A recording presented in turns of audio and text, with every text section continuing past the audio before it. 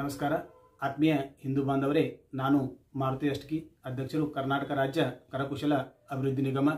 ಇದೇ ಹದಿನಾರನೇ ತಾರೀಕು ಬುಧವಾರ ಸಂಜೆ ಐದು ಗಂಟೆ ಮೂವತ್ತು ನಿಮಿಷಕ್ಕೆ ಯಮಕನ್ಮಡಿ ಮತಕ್ಷೇತ್ರದ ಯಮಕನ್ಮಡಿಯ ಬಿಬಿ ಹಂಜಿ ಮೈದಾನದಲ್ಲಿ ನಾನು ಹಿಂದೂ ಎಂಬ ಕಾರ್ಯಕ್ರಮ ಜರುಗಲಿದ್ದು, ಈ ಕಾರ್ಯಕ್ರಮದ ಪ್ರಮುಖ ಭಾಷಣಕಾರರಾಗಿ ಪ್ರಖರ ವಾಗ್ಮಿ ಶ್ರೀ ಚಕ್ರವರ್ತಿ ಸೂಲಿಬೆಲೆಯವರು ಆಗಮಿಸುತ್ತಿದ್ದಾರೆ.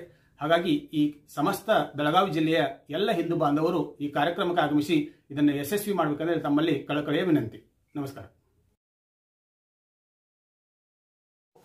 ಹಾಗೂ ಹಿಂದುತ್ವ ಅನ್ನುವ ವ್ಯಕ್ತಿಗಳು, ನಾನು ಹಿಂದೂ ಅನ್ನುವ ಪ್ರತಿಯೊಬ್ಬಗೂ ಇದನ್ನು ಬಂದು ಹಿಂದುತ್ವ ಬಗ್ಗೆ ತಿಳ್ಕೊಂಡು ಈ ನಮ್ಮ ಭಾರತ ದೇಶಕ್ಕೆ ಹಿಂದುತ್ವ ಏನು ಅನ್ನೋದನ್ನು ನಾವು ತೋರಿಸ್ಕೊಡ್ಬೇಕಾಗೈತಿ. ಅದಕ್ಕಾಗಿ ದಯವಿಟ್ಟು ಎಲ್ಲರೂ ಈ ಸಭೆಗೆ ಬಂದು ಇದನ್ನು ವೀಕ್ಷಿಸಿ ಇದರ ಅರ್ಥವನ್ನು ತಿಳ್ಕೊಬೇಕಂತೇಳಿ ಈ ಮುಖಾಂತರ ತಮ್ಮಲ್ಲಿ ಕಳಕಳಿ ವಿನಂತಿ ಕಾರ್ಯಕ್ರಮ ಇರುತ್ತೆ?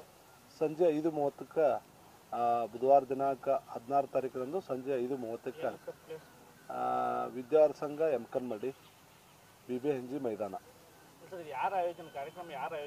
ಹಿಂದೂ ಹಿಂದೂ ಪರ ಸಂಘಟನೆಗಳು.